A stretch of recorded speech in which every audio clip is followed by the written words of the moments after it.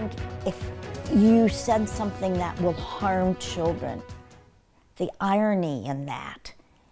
A day of bomb threats creating a really chaotic Saturday in Lancaster. All of it started because of a drag queen story hour at a library. Multiple people, they were also targeted in those threats. Thank you for joining us tonight at 11. We have a lot to get to. I'm TJ Anthony. Tonight, we have all angles covered on this story, starting with CBS 21's Maxine Rose, who was there all day and shows us just exactly how it went down. Over 200 young families were expected here today at the Lancaster Public Library for a drag queen story hour. But instead, that hour turning into an all day affair, fueled by back to back threats. You're safe here. And that was taken away today. And that is what I am, I am really sad about. At about 10:45 this morning, just over 2 hours before the drag queen story hour was expected to begin, Lancaster City Police confirming that a suspicious package was found inside. Their hate is shutting down blocks of a city at this point. It's just such it's just ridiculous. Police tape wrapping around the block as many in the nearby area were told to leave. I thought, "Oh, okay. This will be over. We'll get the package, we'll get out, we'll move on." Uh, very naive. Absolutely naive. I think the chief fireman or, or fireman came into the building and then spoke to the cashier and then they made an announcement that all of us had to evacuate House of Pizza and then he made sure to clarify that we had to like move west. Close to 1 p.m., the Lancaster City Police issuing a total evacuation order after another bomb threat was confirmed within blocks of the library. The library's executive director says they have hundreds of events just like this one for the LGBTQ community. Somehow, this one in particular striking a nerve. Not every book is for everybody, not every program is for everybody.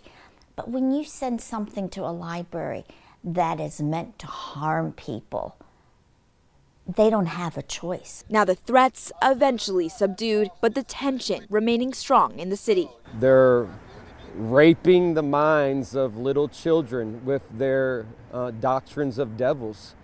You know, um, nobody in their right mind would come before little kids and do those kinds of things. Like many of our story times, this was supposed to be another one of them an opportunity for children and parents to socialize, to learn about another aspect of the world, and to, most important, instill the love of reading in, in young children. Despite the scare, Holland says she has no plans to stop hosting these kinds of events at the library, her second home. With all the hate, there was still lots and lots and lots of love and support and uplifting words given to us.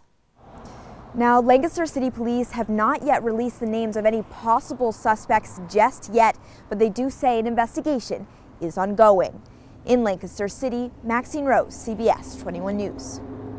Thanks, Maxine, for that report. And just a few hours ago, Lancaster Mayor Danene Sorace responded to those threats, saying that a city will hold whoever is responsible accountable for their actions. She goes on to say that a sense of fear remains for the city's LGBTQ community saying, quote, while we respect differences in opinion and freedom of expression, the use of fear to manipulate and control our community, they will not be tolerated in Lancaster City. We will not be deterred from loving our neighbors. That includes all of them. All three Lancaster County commissioners are responding to these threats tonight.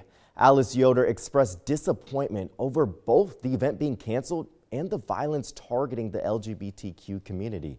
She says in part, quote, the words feeding the flame of that violence are just as dangerous as the threats themselves. County Commissioner Ray D'Agostino saying the threats, they were deeply distressing and they have no place in our community. Whoever is responsible and regardless of their motive for the terroristic threats, they must be identified, apprehended, and prosecuted to the fullest extent of the law. Josh Parsons, he shared a similar thought, saying that threats of violence, they have no place in our debates, regardless of how people feel about the drag queen story hour. And along with the bomb threats and the suspicious package found, a disturbing email was sent out today. In the email, a group of people, they claimed they placed bombs in the homes of the organizers of the Drag Queen Story Hour event. That includes Tiffany Shirley, president of Lancaster Pride. She joins us live from a secure location. Tiffany, we spoke earlier. You said you were out of your home due to the threats. I mean, you have kids. Do you all feel safe? No, we don't feel safe. It's it's scary because we're out of our home because an individual or individuals made a terrifying threat on not only my family but other individuals in the community. Tiffany, I mean, how did you find out about this email? It wasn't even sent to you. Um, the library um, showed it to me 1st mm-hmm. um, while we were kind of waiting for direction.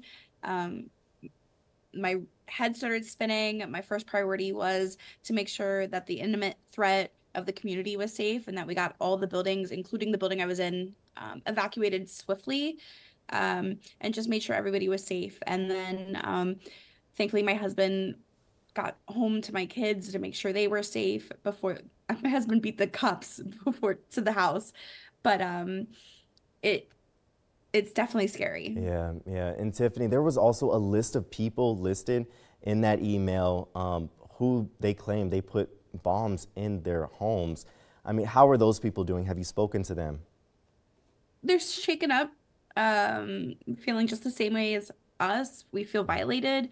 Our homes had to be, you know, searched by bomb sniffing sniffing dogs, and it it's just it's just violating and scary that these people posted our addresses online, and it it it's, it just makes you feel uneasy. Yeah, in the email, I mean, we saw it here at CBS 21. They had you all's addresses listed. Um, what about right now? Is there anything authorities are doing to really make sure that you all are safe? They are just, you know, checking in, um, making sure that we're just not letting anybody know where we are, um, doing some extra drive-bys around the neighborhoods just to show extra presence that they are taking this seriously. And then in the future, I mean, you all host these events all the time. Is there anything that you all think you could do to maybe avoid this kind of situation? I just think ed- educating our community um, and also just strengthening our relationships with um, other organizations um, so that we can we can make these events safer. Awesome. Well, thank you, Tiffany Shirley, president of Lancaster Pride. Thank you so much for joining us. We are so glad that everyone in Lancaster they made it out okay and that you all are safe. Thank you. Thank you. Thank you so much.